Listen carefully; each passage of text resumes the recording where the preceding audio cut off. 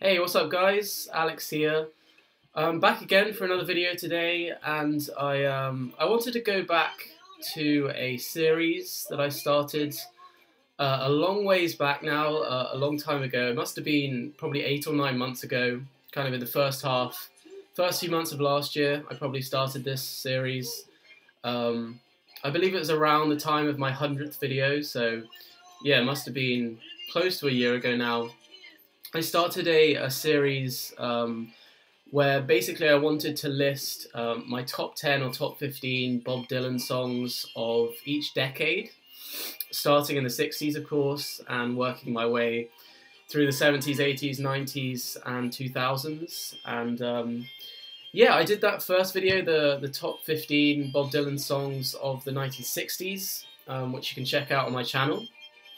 And I thought I would, at long last, carry on with the series today, make the second installment, which is my favourite Dylan songs of the 1970s, which uh, which would be a bit of fun. Um, just made a simple list here. I'm only going to do a top 10 for the 70s because I, it wasn't quite as kind of prolific in terms of songwriting and and output for Dylan in the 70s as it was in the 60s. You know, most people know Bob Dylan for his 60s work, you know, his classic albums, the mid 60s trilogy, his early folk albums, and the later 60s stuff. Um, the 70s was still a great decade for Dylan, don't get me wrong. You know, like, he released probably three or four great albums and one or two masterpieces in the 70s, so it's definitely worth making this list, but I thought I'd only do a, a top 10 uh, as opposed to a top 15. So yeah, just gonna run down my uh, my top ten Dylan songs of the of the seventies.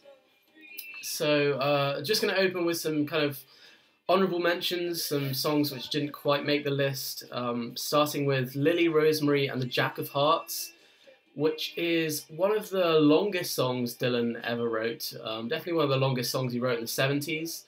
Uh, this is what a song from Blood on the Tracks, and I love this song. It's um, one of Dylan's best kind of storytelling songs. You know, it's it's it's kind of about this love triangle, and he kind of makes it very obscure and abstract by bringing in these kind of literary um, characters and these kind of well-known characters and personas, bringing them into this kind of story. But you always get the sense that he's kind of got his own personal attachment to this story as well. So that's a great song. Second honourable mention is Day of the Locusts, which is a song off uh, New Morning. Again, great song. Um, it's actually about Dylan graduating with a, I think, a master's in, in something that he obtained from a university in Dakota in the late 60s, and it's kind of about that day. It's a great song, didn't quite make the top 10, but great song from New Morning. And the third one is Nobody Nobody Except You, or Nobody Except You, which is not actually a song that appeared on any of his 70s albums. This is an outtake, I think, from the Planet Wave sessions, um, or maybe the New Morning sessions, but I believe it's uh, an outtake from from the uh, Planet Wave sessions or the Blood on the Track sessions. And yeah, it's a great song. It's on um, Bootleg Series Volume 1 to 3 from 91, so check it out one of the best, um, most heartfelt, emotive songs that Dylan wrote in his career. Love this song. I wish, I really wish they put this on Planet Waves. It would have made the album so much better, in my opinion. I just, I just love this song. Check it out if you haven't.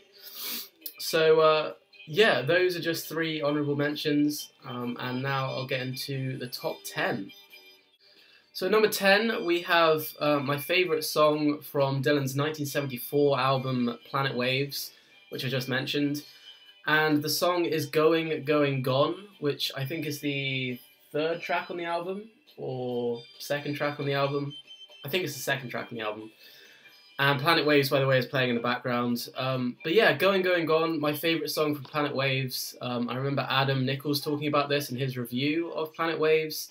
And I completely agree with everything Adam said. Um, basically, he thought the song was about kind of somebody coming towards the end of their life and, and taking their own life through obviously suicide. And um, with that in mind, it makes it a very dark, very brooding, very harrowing song to listen to.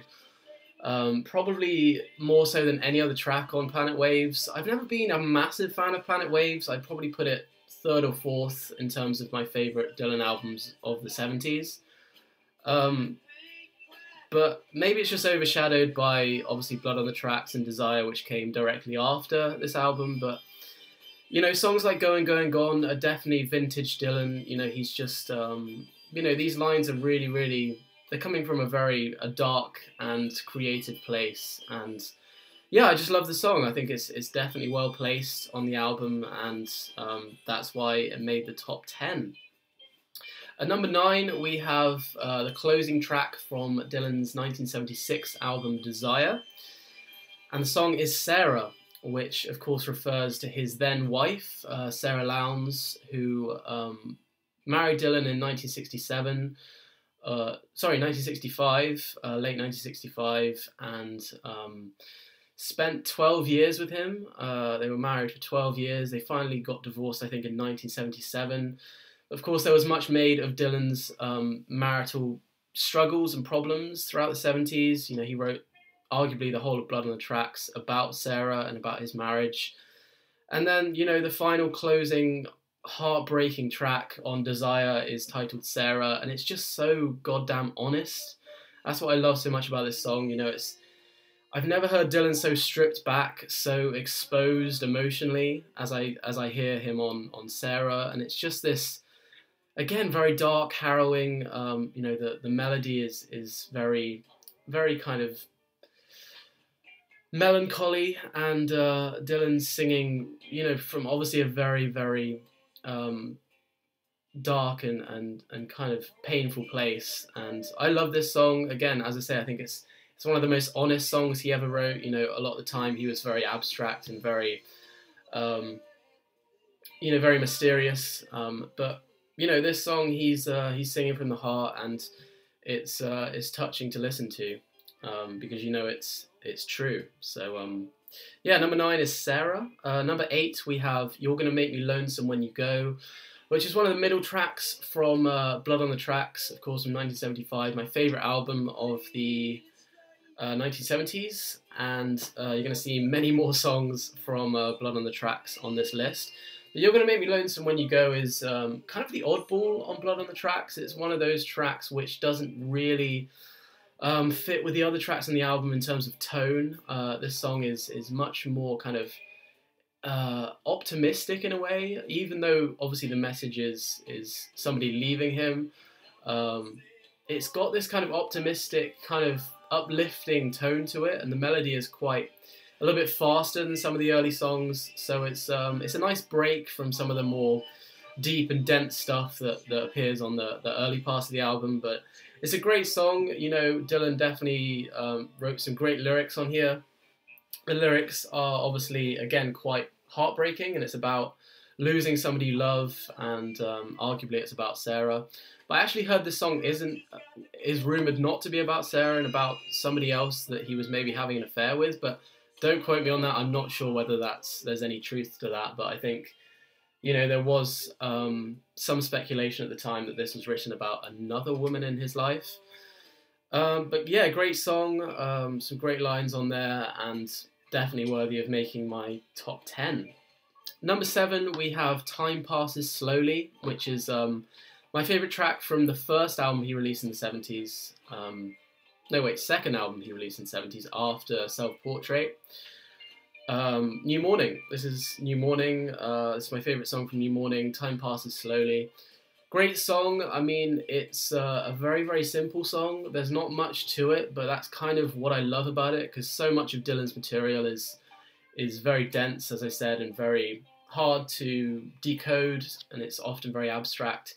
Time passes slowly. Songs like this are very, very simple, stripped back, but still have still pack kind of an emotional punch. And I love some of the alternate versions of this song that appeared on the another side of Self Portrait. Um, is that what it was called? Um, the bootleg that came out last year.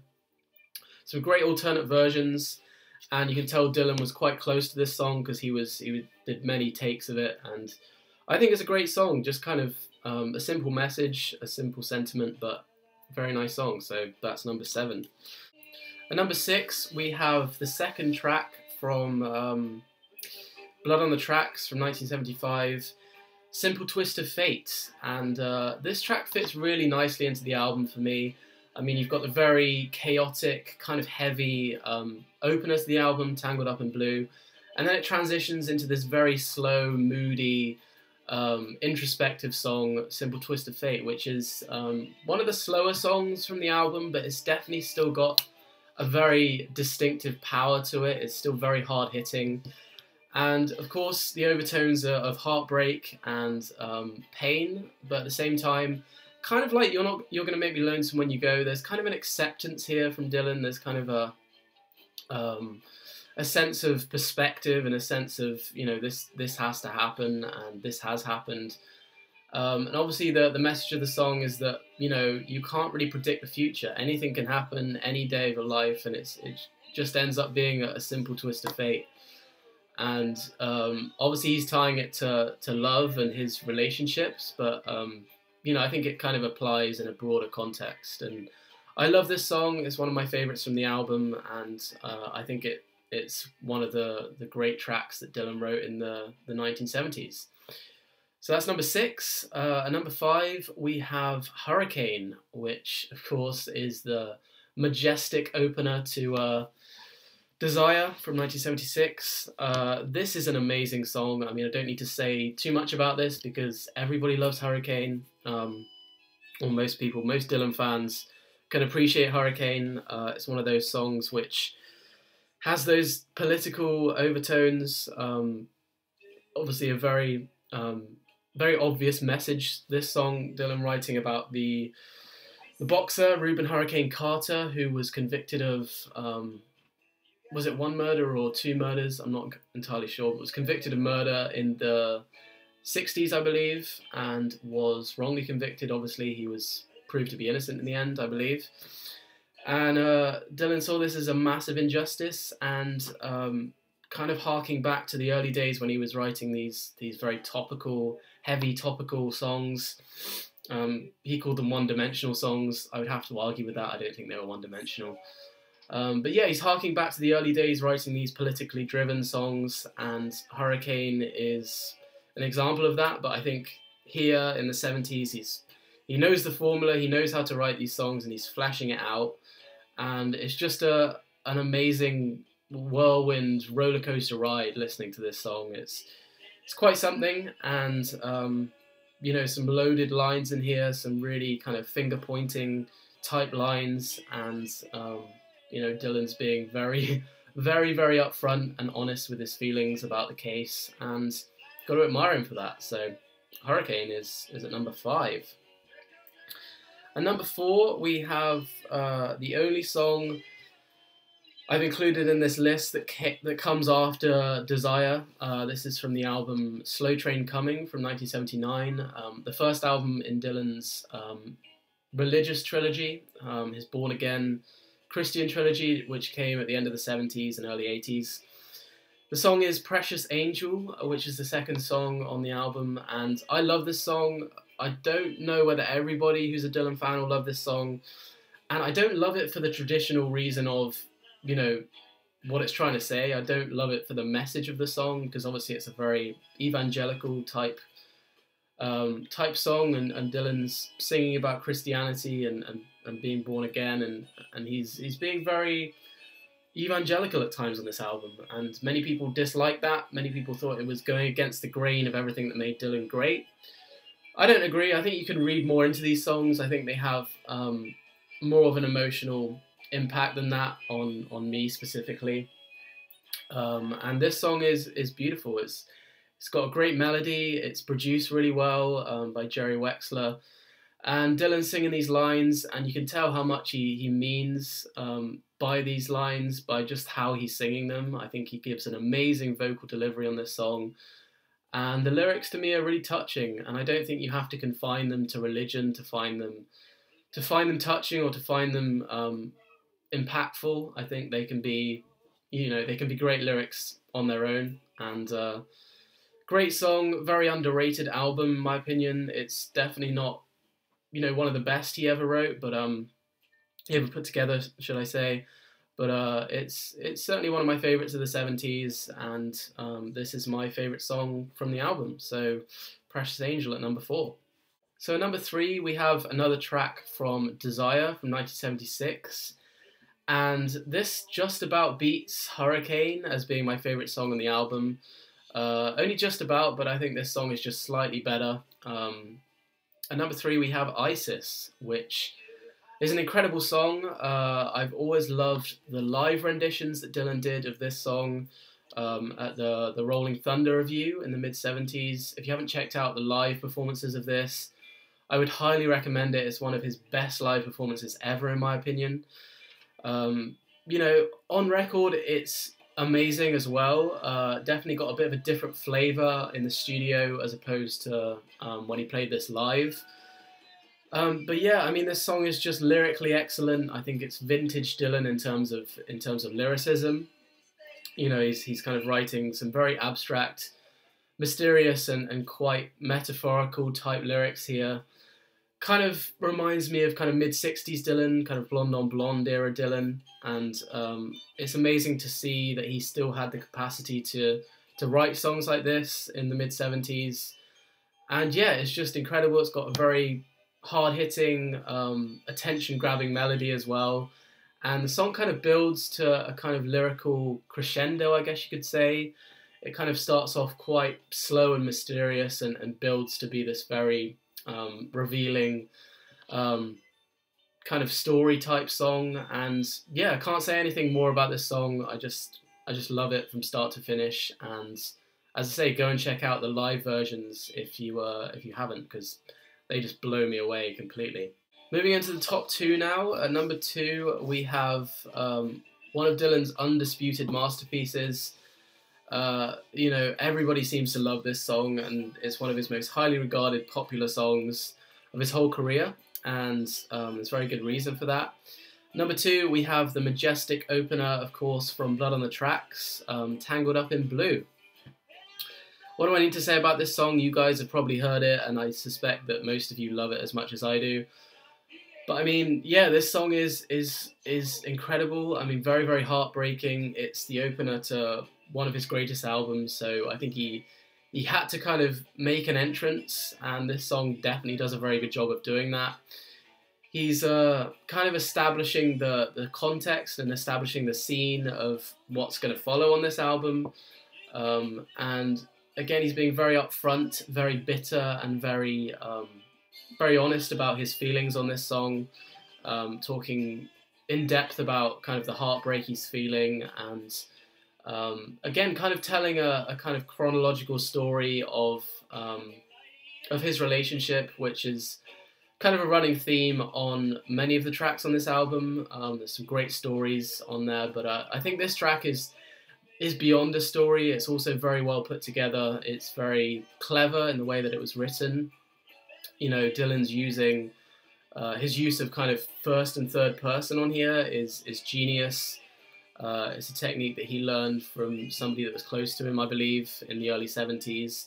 And here we hear it kind of applied to a, a Dylan song, and I think it just adds to the overall kind of depth of the song and just adds an extra dimension and um, makes it into something that's truly, truly special to listen to. So, yeah, give this uh, give this song a listen if you haven't. It's one of his best songs. And if you can, um, check out the. Actually, I'll put this in the description. The live version of this, uh, which again was done at the Rolling Thunder Revue. Believe you can watch it on his official Vevo page. Um, and again, it's one of the greatest uh, live performances of any Dylan song I've ever seen. Just uh, someone filmed it as well, and it's like a close up of his face, and he's got this kind of white face on. He's got this huge hat on and these kind of piercing blue eyes, and it's it's just so powerful, so impactful the way he's singing this. Um, this this amazing song, so definitely go and check that out. But yeah, number two had to be uh, had to be the the amazing Tangled Up in Blue, great song. And at number one, we have another song from uh, Blood on the Tracks. I had to put this at number one. It's always been my favorite Dylan song of the 70s.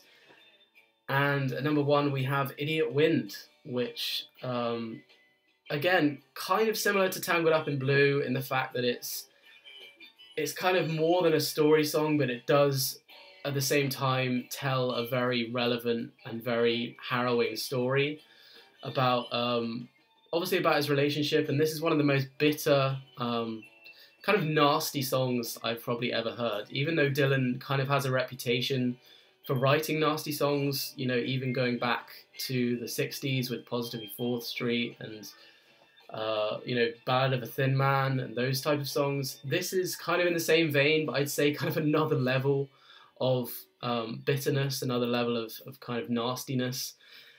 And yeah, Dylan again just pouring out his heart about um, about this relationship that's kind of crumbling, um, you know, beneath his feet. And it's just one of those one of those songs you just listen to, and, and at the end of it, you kind of have to take a breather. You have to kind of step back and take stock of what you just heard and so many kind of loaded lines in here, so much um, finger pointing going on. Um, obviously, never actually reveals um, kind of the true nature of the relationship he's talking about. Um, so it's got that element of mystique, but it's still quite obvious that it's it's a, a very heartbreaking moment for him, and he's just laying everything on the line. He's he's not holding anything back here. He's just telling people exactly how he feels and putting it in a very Dylan-esque type um, type way. And lyrically, one of the best songs he ever wrote, um, no doubt. And melodically, it's again kind of kind of a crescendo. It's it's kind of a bit slower at the start and builds to a kind of climax later in the song.